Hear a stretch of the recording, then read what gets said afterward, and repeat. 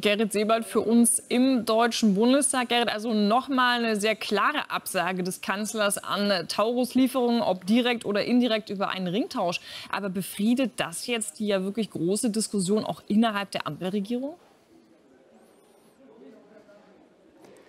Ja, meiner Meinung nach ähm, glaube ich nicht, dass das die Diskussion befriedet. Aber wir können ja mal einen fragen, einen der größten Kritiker innerhalb der Ampelkoalition von Olaf Scholz und seiner Position, Anton Hofreiter. Der, nämlich, der ist nämlich bei mir hier am, äh, im Bundestag. Fragen wir doch einfach mal direkt nach. Herr Hofreiter, Sie haben ja am Sonntag schon gesagt, Sie überlegen noch, ob Sie vielleicht sogar mit der Union für die Tauruslieferung, also gegen die Koalition, stimmen. Sind Sie mittlerweile zu einem Ergebnis gekommen? Der Kanzler hat sich ja gestern noch mal sehr deutlich geäußert. Können Sie sich jetzt auch so deutlich äußern, wie Sie abstimmen werden?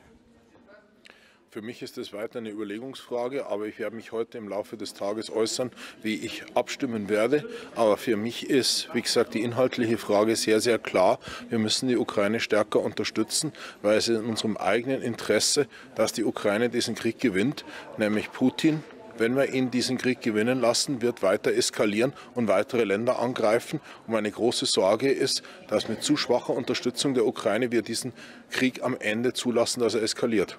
Sie sind ja auch nicht der einzige Kritiker dieser Position, nicht der einzige, der geäußert hat, dass man vielleicht sogar mit der Union abstimmen will.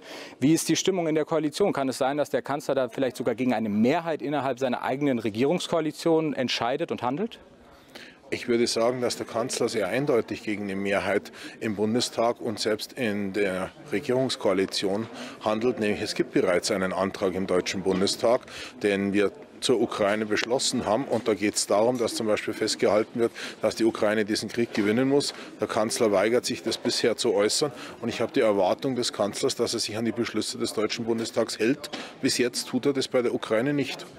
Sie haben ja gestern in einem, ich sag mal, bemerkenswerten Gastbeitrag in der FAZ zusammen mit Norbert Röttgen auch gesagt, die Begründungen des Kanzlers gegen den Taurus seien rechtlich und faktisch falsch. Jetzt sagt der Kanzler aber, ja, er will ja nur die Kontrolle behalten, wofür, wo die Ukraine den Taurus, sagen wir mal, hinschießt. Und da hat er dann recht, dass es dafür eigentlich deutsche Soldaten bräuchte. Nein, auch dafür braucht es keine deutschen Soldaten, weil dieser Marschflugkörper technisch extrem modern ist und man kann ihn vor der Auslieferung so gestalten, man nennt es Geofencing, dass nur bestimmte Gebiete überhaupt einprogrammiert werden können als Ziele und man könnte zum Beispiel das ganze russische Territorium ausschließen, sodass er nur in den besetzten Gebieten und nur in äh, den von Russland besetzten Gebieten einschlagen kann. Das kann diese Waffe. Also Sie sagen, die Argumente des Kanzlers, die stimmen alle nicht. Was ist denn Ihre Interpretation, warum der Kanzler trotzdem so vehement gegen die Lieferung vom Taurus ist? Das ist etwas, wo man am Ende den Kanzler fragen muss, nämlich er hat sozusagen kein technisch stichhaltiges Argument. Äh, meine Sorge ist, dass der Kanzler immer noch glaubt, mit Putin auf Augenhöhe verhandeln zu können und dabei völlig falsch einschätzt, dass Putin ein skrupelloser Diktator ist, der, wenn man Schwäche zeigt, immer weitergeht und eben genau dann nicht verhandelt. Ich glaube, wir brauchen dringend Verhandlungen. Wir müssen so schnell wie möglich dafür sorgen, dass dieser Krieg äh, zu einem Ende kommt. Aber das erreichen wir nicht, indem wir Schwäche zeigen, sondern indem wir Stärke zeigen. Aber man kann ja auch sagen, dass der Kanzler vielleicht hier einfach den Willen der Bevölkerung vertritt, weil da ist ja die Mehrheit tatsächlich auch gegen die Lieferung des Taurus. Vielleicht will er einfach keine Angst schüren, vielleicht hat er ja tatsächlich auch die Befürchtung, dass Putin eskalieren könnte. Wie, ähm, man kann ja auch interpretieren, dass er hier einfach den Willen auch der Mehrheit der Bevölkerung vertritt.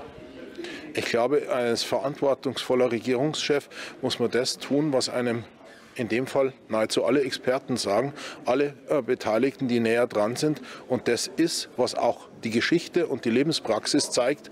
Einem Diktator begegnet man nicht mit Appeasement, sondern einem Diktator begegnet man mit Stärke. Erst dann erreicht man den Frieden. Herr Hofreiter, vielen Dank für dieses Interview. Ja, und wir haben es gehört, Anton Hofreiter hat sich jetzt noch nicht entschieden, ob er am Donnerstag vielleicht sogar mit dem Unionsantrag für den Taurus stimmen wird. Das heißt, es bleibt abzuwarten, inwieweit sich die Abgeordneten der Ampel dann da ja auch an die Fraktions- und Koalitionsdisziplin halten oder ihre eigenen Wege gehen.